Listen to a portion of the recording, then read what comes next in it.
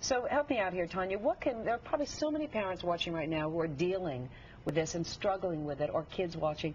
What can they do Right. if you can't afford this kind of a program? Well, the good news is the parents can do a lot. That education begins in the home, that children are going to do what their parents do. So I say to parents, you're the ones who are providing the food. You're the ones who are going food shopping.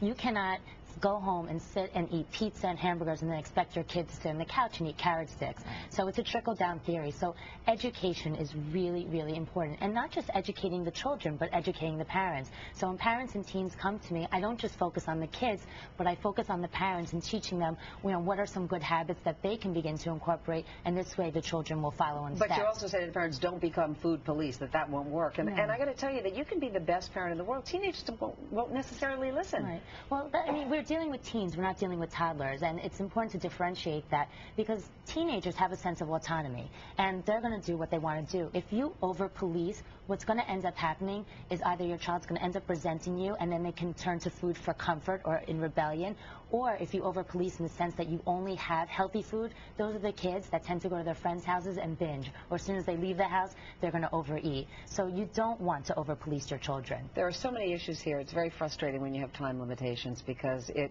it is, as we said, it is a major, major issue in this country, not going away anytime soon. Thank you, Molly, for all your efforts. Thank So- you. Sounds like a wonderful school. It is. Thank you, too, as well, Tanya, the Thank both you. of you.